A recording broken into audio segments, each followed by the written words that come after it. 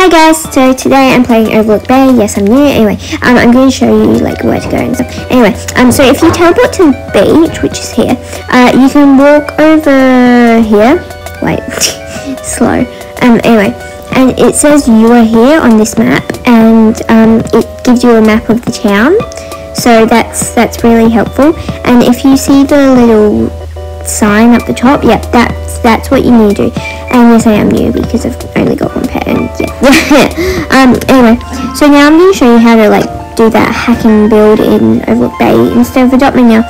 So what you can do is place your shower here or whatever, hop on that, build, put a chair, any chair, just any chair, just put it there. I'm trying to find a um a uh, cheap chair, I'm not really having much luck finding a cheap chair. So you know, just just get any chair, just, you know, any chair, any chair will do.